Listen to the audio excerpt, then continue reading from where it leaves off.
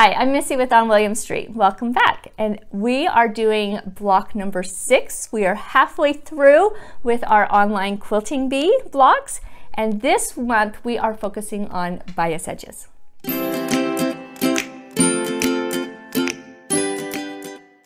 So you're thinking, why bias edges? Why is this something that we need to have included in our skill builder and really focus on?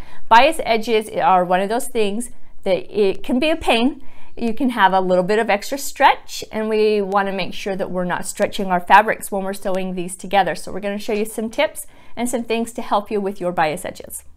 So for those of you who might not know what a bias edge is, when you've got your fabric, so we've got our a piece of fabric right here on the bolt and you pull it out, you're going to have at the bottom, you're going to have your selvage and then at the top you've got it folded in half. So this edge along here this is going to be your straight edge. Now when you're cutting out your squares, so we cut this square out of this section. So we have our, our good straight edges here, but then when you're gonna cut this into a triangle, you're gonna create that bias edge. And the bias edge can have some stretch in it. So that's what we're really wanting to focus on is keeping that stretch from distorting our quilt square.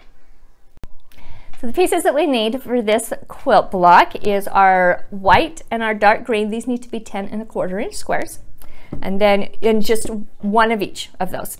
And then you do need one gray square, and that one is going to be six and seven eighth inches. And then we also need two of each of these, so our white, light green, and our yellow, and these each need to be five and three eighths inch squares. So one of the things that is really going to help you in putting together this block and working with your bias edges is going to be starch. So if you starch your blocks before you cut any edges that are going to be on the bias, it's going to help keep those edges from stretching on you. So we're going to go ahead and starch all of our blocks first. Now that our pieces are all starched, we're going to go ahead and cut these. So our smaller pieces, the 5 and 3 eighths ones, we're just going to cut them in half along the diagonal. So we're just going to take our ruler, line it up, match corner to corner.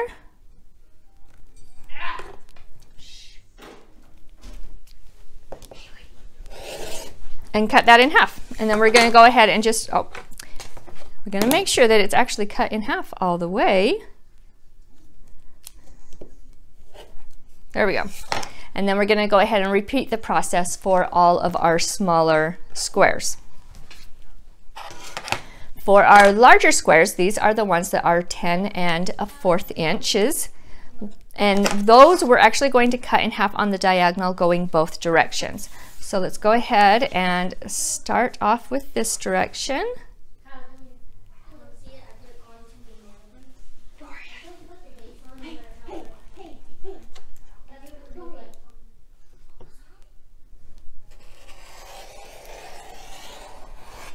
And again, this is one of those instances where if you've got a rotating cutting mat, it comes in handy because then instead of having to, to move this square around, we can move the mat around.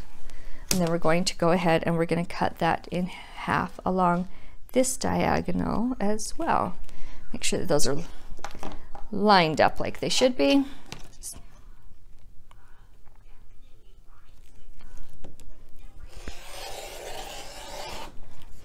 And then we'll just repeat the process with our white block as well. Now that we've got all of our pieces cut, we're going to go ahead and lay the quilt out. So we're going to start with our gray square and put it on an angle.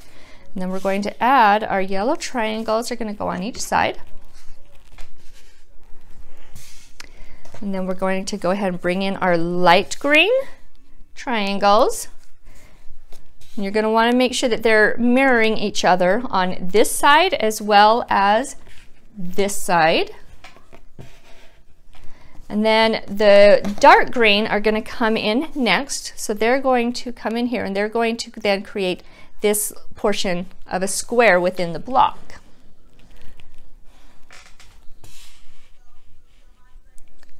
So you want to make sure as you're sew sewing these four sections together that you've got two that are mirroring each other.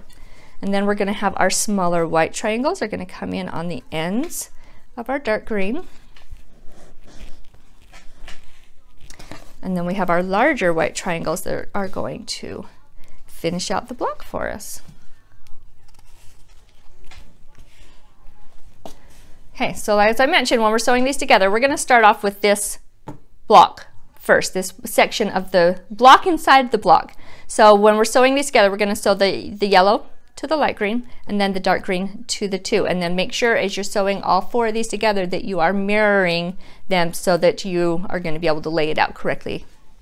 So first we're gonna start off sewing the yellow to the light green. And for these two edges, because of the way that they were cut, these are not bias edges. So we don't really need to do anything special with them. We can go ahead and take them over to the sewing machine and sew them.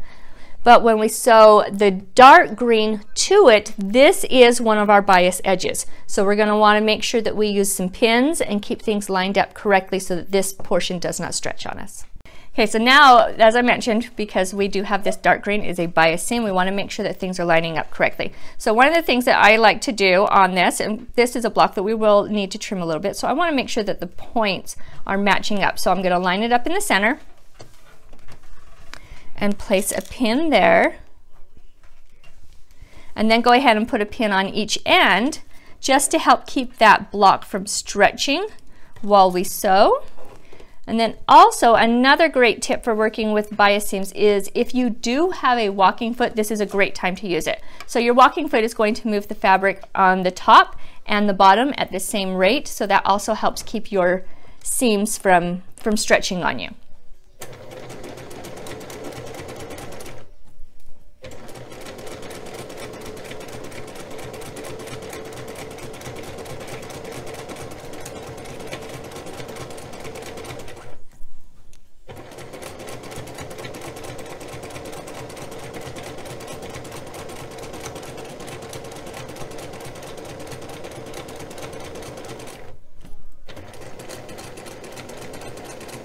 And then just go ahead and repeat that process with the other four sections.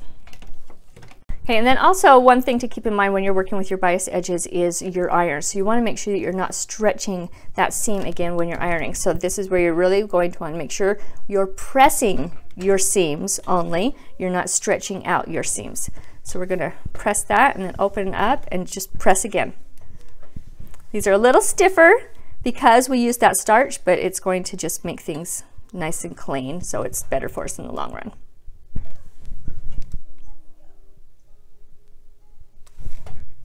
Okay, and then we're ready to move on to the next block. Now that these four blocks are complete, we're gonna go ahead and trim them if they need to be. So you wanna make sure that they're matching the same size as that center block. So if you need to do any trimming to make sure that they're matching that six and seven eighths. And then also we've went ahead and cut off all of our dog ears. And this is really just going to help in the bulk of the block. So it's going to make your quilter or yourself, if you are the quilter, um, just appreciate you a little bit more so there's not as much bulk in the block. And now we're going to sew this block into three sections. So we're going to take these outside sections. We're going to sew, sew these two white pieces to the square, and then we'll sew this little white triangle at the end into the square and we're going to repeat that with this side as well. And then this middle section is going to um, sew the whole row together as well. And then again we're just going to want to make sure that we're using our pins. We are keeping an eye on those bias edges so that we're not stretching so that when we're sewing those three rows together these are in essence becoming bias rows and we want to make sure that there's going to be no stretching and we have a nice flat quilt block at the end so now that we're going to sew, we're going to sew these two edges to this square and we want to make sure that these are lining up along this edge. So we're going to just match that up in the corner and then you'll notice that it does hang over a little bit on this end. We want that to happen. This is taking in account for our quarter inch seam and then this is what is called our dog ears that we're going to go ahead and trim after we sew. Now that we've got these two edges sewn on, we need to sew on this little triangle on the end. And a couple of things I want to show you that are really going to help make this a little bit easier. So I'm going to take this triangle, I'm just going to fold it in half, make sure that that point is lining up correctly, and I'm just going to give it a little finger press right here. And that's going to show me where that center is. And then again, I'm going to do the same thing on this square. So I'm going to make sure that those two seams are matching up right there, and I'm going to give this a little finger press here. And then that's going to make sure that I've got the center of those two and I want to line those up together. So I'm going to make sure that those center points match just nicely. I'm going to put a pin there and then I can go ahead and pin each of the edges and then I will go ahead and sew and that's going to make sure that my triangle is matching up right there in the center. For the middle section, what we're going to do is these two triangles on the end, we're actually going to put them on the same way we did these two triangles on the end sections. So we're going to take this and we're going to fold it in half. Make sure we're lining up that point. So it might not be exactly in half on there, but it's going to be more important that you line that point up. Do your little finger press. And then again, with the square, fold it in half give it a finger press. And then we're going to be able to match those, that right up in the center, throw a couple of pins in, and then we're going to sew along this seam. And we're going to do the same with this end, and then we'll sew those two pieces to the center square. Now we're going to go ahead and sew the three rows together. So the one thing we want to make sure is we're matching up these seams here and here. And then you remember that this is going to overlap a little bit on the end to account for that quarter inch seam. So use your pins Put we'll probably put one in the center as well, just to help keep things in line. So we'll want to match these two up, get those seams right next to each other. And I always like to start in the center when I'm doing a row like this to help make sure that things stay lined up all the way through.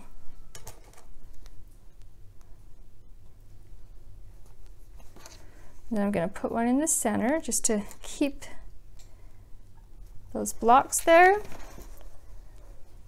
And then as you're working on this one over here, don't pull and stretch this as you're pinning it. You want to just make sure it's laid nice and flat so that you're not stretching as you're putting your pin in.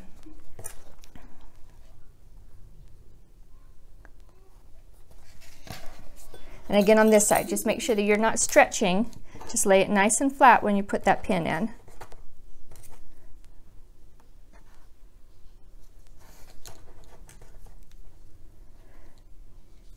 And then we'll have to go ahead and sew this on and then we'll sew the other end on the other side and our block will be finished.